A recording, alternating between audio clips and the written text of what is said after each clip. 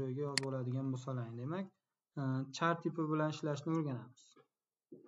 Char toifasi. Bu e, bitta belgini qabul qiluvchi tip hisoblanadi. Ya'ni e, int nima ish qilishini bilardik int a teng ikki deydirgan bo'lsam demak cout ekranga chiqarib ber ani qiymatini deydirgan bo'lsam bu holatda a butun sonini qabul qilar edi. A butun sonni qabul qiladi deb e, o'rganganmiz.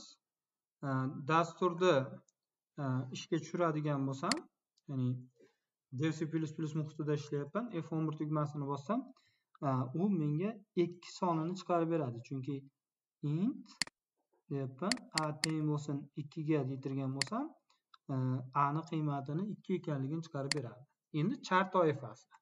Char bu belgi bilan ishlovchi toifa hisoblanadi.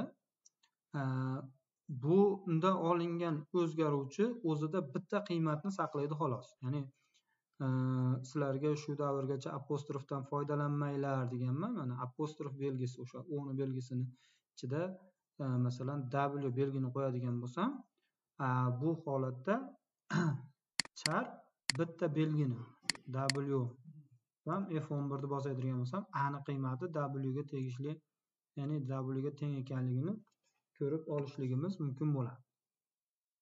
O'zida bitta belgini e, saqlab qoladi. Bu yerga so'z yozib qo'yadigan bo'lsak ko'pchilik e, mana bunday qilib yozib qo'yadi ya'ni char tipidagi a teng bo'lsin apostrofni ichida ahror deb yozib qo'yadi.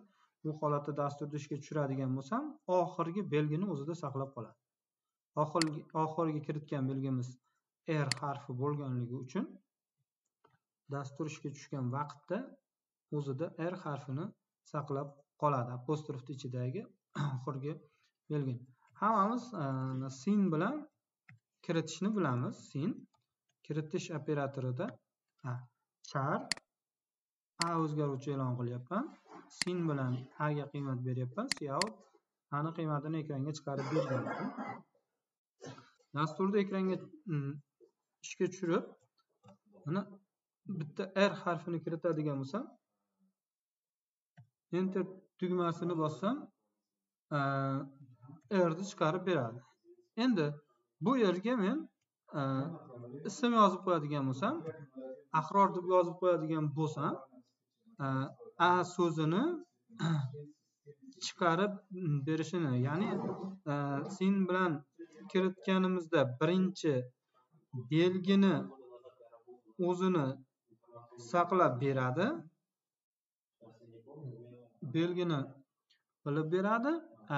Nimada bo'lsa qo'sh tirnoq bilan kiritganimizda oxirgi belgini chiqarib berishligini ko'rishligimiz mumkin bo'ladi. Mana shu e, tartibda u bilan ishlashligimiz mumkin. Chart tipi o'zida bitta belgini saqlaganligi uchun biz o'zimizda massiv bilan ishlaymiz char a massiv bilan ishlaymiz. Masalan bunga yuzta belgi deb kiritadigan bo'lsam endi dastur ishga tushgan vaqtda bizda e, so'zni olishligi mumkin. Ahror deytirgan bo'lsam ahror so'zini olishligi mumkin bo'ladi. Bu yerda e, massivni elementlarini hammasini bir boshdan ko'rishligimiz mumkin. E, bu holatda men Э, ism familiyani kiritadigan bo'lsam ahror qayumov deb yozadigan bo'lsam birinchi bo'sh joygacha belgilarni oladi xolos. Biz massivni elementlari sonini bo'lsa yuzta berib qo'yganmiz. Dastur ishga tushgan vaqtda yaxshilab e'tibor beradigan bo'lsang salom talaba deb yozadigan bo'lsam salom so'zini agar buni qo'shib yozib yuboradigan bo'lsam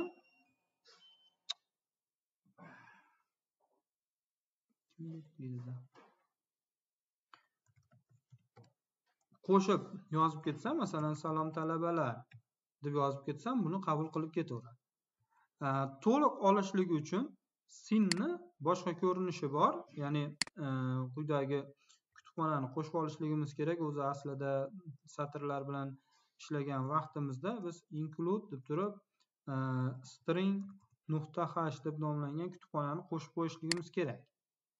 Dasturlarimiz to'g'ri ishlashligi uchun e, string kutubxonasini qo'shib qo'yadigan bo'lsak bundan foydalanishligimiz mumkin. Sinni e, boshqa e, funksiya ko'rinishi bor ya'ni sin e, kiritish operatorini e, satrlar bilan ishlashligimiz uchun e, getline funksiyasi mavjud getlinedan foydalangan holatda biz o'sha so'zlarni emas butun boshli gapni kiritishligimiz mumkin bo'ladi. Bu yerda char tipida olgan o'zgaruvchimiz masalan bu yerda a olyapman. A o'zgaruvchini berishligim va verguldan keyin nechta belgi kiritishligimni yozishligim kerak. Masalan e, bu yerga yigirmata belgi yozib qo'ydim. Yoki bo'lmasa buni kamroq yozay.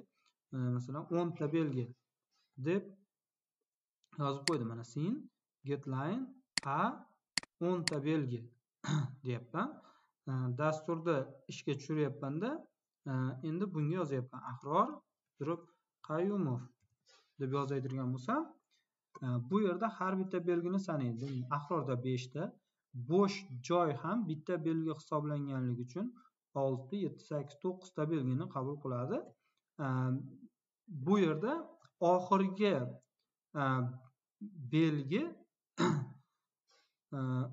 o'zimizni raqam deb olishligimiz mumkin. Ya'ni sizlarga hozircha tushuncha bo'lishligi uchun e, bu oxirgi belgi uchun joy shuning uchun e, bu yerda biz a massivi e'lon qilyapmiz yuzta belgidan iborat deyapmiz. Bu yuzta belgidan iborat massivni kiritishligimiz uchun e, biz massivni xotiradan egallagan joyidan foydalanishligimiz mumkin. Ya'ni size of deb nomlangan funksiya bor.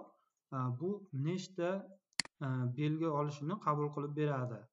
Ya'ni size of э, funksiyasi masalan э, ko'radigan bo'lsak cout size of deb nomlangan funksiya shu e, char massivini char massivini qancha joy olishini ko'rsatib beradi baytlarda. Masalan yuz turibdi yuzni chiqarib beradi. Bu yerga e, men bir yuzi sakson to'qqiz deb yozadigan bo'lsam bir yuz sakson to'qqiz chiqarib beradi o'zi aslida e, shu yerga nechta belgi yozsak o'shani yozib qo'ysak bo'laveradi e, deyishligingiz mumkin.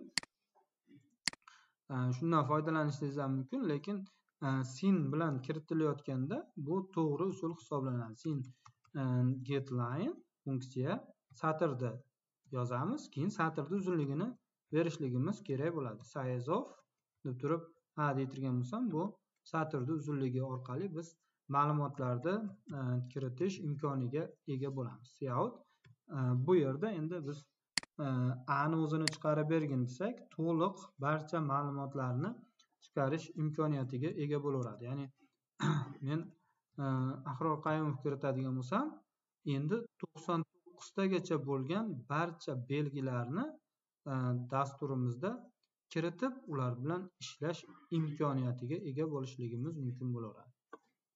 Belgilarimizni mana e, kiritib oldik?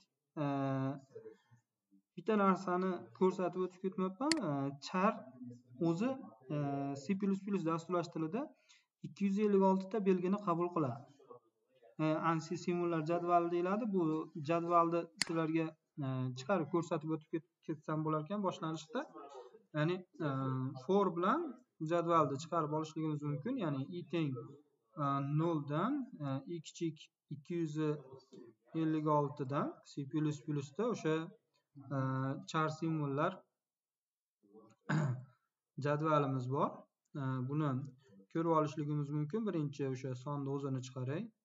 Orada bitta bo'sh joy. Undan keyin char ini qiymatini chiqaradigan bo'lsam ya'ni butun songa mos ravishda bularni biz e, ko'rib o'tishligimiz mumkin bo'ladi. Dasturni e, ishga tushirgan vaqtimda mana bu e, belgilarni jadvalini to'liq ko'rishligimiz mumkin bo'ladi. Ko'radigan bo'lsak asosan biz bu yerda harflarni ko'rib o'rganishligimiz kerak bo'ladi. bizda e, tayyor funksiyalar bor. Ma'lumotlarni mm, kiritayotganimizda o'zi e, char uchun e, bu juda kamdan kam ishlatiladigan funksiya. Chunki do'stimiz aytdi domla stringda to'g'ridan to'g'ri o'rgansak bo'lmaydimi? dedi. Stringdan ko'ra bu bizga juda to'g'ri kam ishlatiladi. Lekin o'rganib ketishligimiz kerak. Hop yuzta belgi. Sin getline orqali qiymatlarini e, kirityapman. Sin getline demak a ni kiritdim e, va e, size of deb turib a ga qiymat berdim. Endi bu yerda kiritilgan belgilarni sonini ham sanashligimiz mumkin. Size of bizda o'lchamni chiqarib beradi. Ya'ni mana bu char massivini nechta mm, belgi qabul qilish o'lcham chegara chiqarib beradi deytirgan bo'lsak endi e, biz kiritgan belgilarimizni o'zini ham sanashligimiz mumkin. Masalan e, bu yerda dasturni ishga tushiryapmanda yozyapman. Ahror deb yozadigan bo'lsam ahrorda beshta belgi e, yoki bo'lmasa ahror qayumov deb yozadigan bo'lsam o'n uchta belgi deb olishligimiz mumkin. Strlen deb nomlangan funksiya bor. Э, length so'rashgan edi o'shaning uchun. Э, bu yerda strlenni yozib qo'yyapman mana. Length o'rnida ishlatiladi. Char uchun strlen funksiyasi kiritgan belgilarimizni nechtaligini chiqarib beradi. Men bu yerga ahror qayumov deb yozsam endi o'n uchta chiqarib beryapti. Bu yerda demak beshta qayumovda yettita oradagi bitta probel bilan o'n uchta belgini chiqqanini ko'rishligimiz mumkin ya'ni strlen deb nomlangan funksiya kiritilgan belgilarni sonini sanab beradi biz xuddi shundan foydalangan holatda bu elementlarni hammasini siklga qo'yib for int iteng noldan e, i kichik e, deb turib endi avval n gacha yoki nechagachadir deb aytardik. Bu yerda men agar e, massivim yuzta turibdi deb turib yuzgacha deb qo'yadigan bo'lsam biz char bilan kiritganimizda yuzta belgi kiritmasligimiz mumkin. Shuning uchun bizga strlen uni sanab beradi. Strlen deb turib i plyus plyus ko'rinishida yozamanda.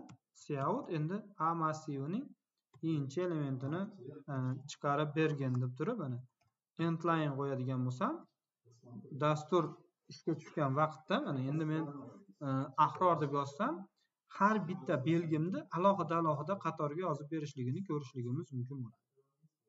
Ahror deb yozyapman ahrorni alohida qator. Yoki bo'lmasa e, endline o'rniga bo'sh joy qo'yib qo'yadigan bo'lsam yozgan yozuvimni salom degan yozuv yozsam salom degan yozuvimni hammasini orasiga e, bittadan bo'sh joyni qo'yib e, chiqarish imkoniyatiga ega bo'laveramiz.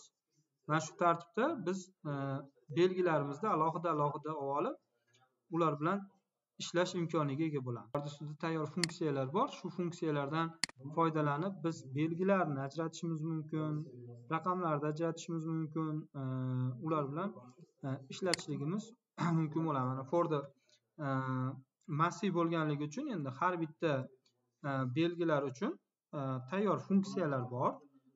Bu funksiyalarni sizga aytib o'tib ketaman. Masalan birinchi funksiya sifatida isdigit a massivini inchi elementi deytirgan bo'lsam cout masalan plus degan belgini chiqarib bergin deyapman. Bu holatda dasturni ishlatsam men mana raqam kiritsam e, plus belgi chiqaradi a harflar uchun hech bola yo'q.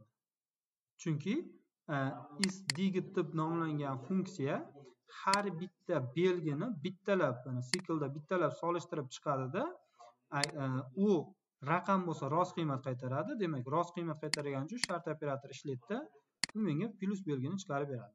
Bu yerda a ikki a uch deb yozadigan bo'lsam ikkita plyus chiqadi. Sababi e, harf uchun hech qanday belgi qaytarmaydida raqamlar uchun rost qiymatni qaytarib beraveradi. To'rtta raqam yozadigan bo'lsam to'rtta emas beshta raqam yozadigan bo'lsam e, menga plyuslarni e, sonini chiqarib beradi bu yerga oxirida uch qo'shilib qolganligi uchun raqamlarimizni oxirida bitta belgi qo'shilib ketib qoladi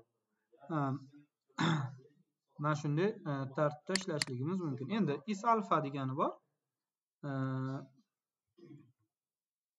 is alfa deb nomlangan funksiyamiz bor. E, bu endi harflar uchun rost qiymat qaytaradi. Harf bilan raqam kiritadigan bo'lsa bitta belgi. Chunki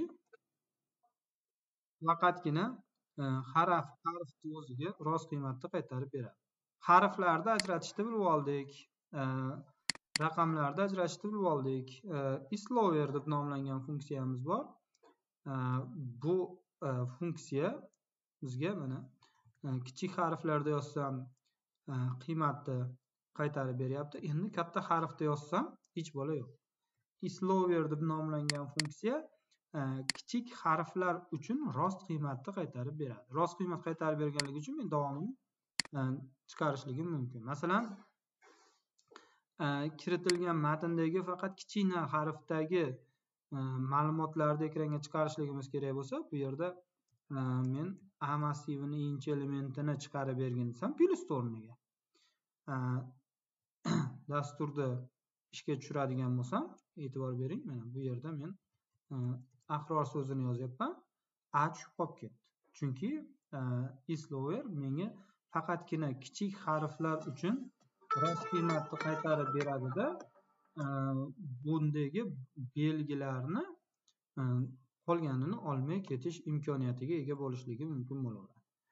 E, endi keyingi nimamiz bor? Bu isapr deb nomlangan funksiyamiz bor. Bu endi katta harflarni olib qoladi. Bu yerga ahror qayumov deb yozadigan bo'lsam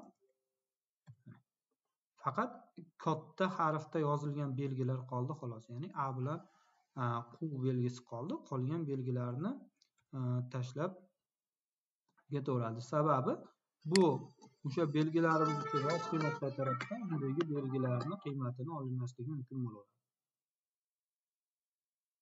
Bor masalan e, harflarni a massivini tolover deb nomlangan funksiyamiz bor. Mana buni ham ko'rsatib o'taytirgan bo'lsam tolover a massivini e, inchi elementi deydirgan bo'lsam